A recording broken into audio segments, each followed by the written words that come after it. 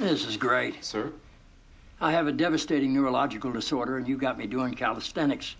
Can I put this whining in a book I'm gonna write? If I wanted to exercise, I never would have become an economist.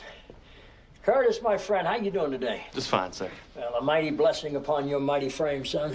Appreciate that, Mr. President. What can I do for you, sir? Is my wife about? I believe she is, sir. Thank you.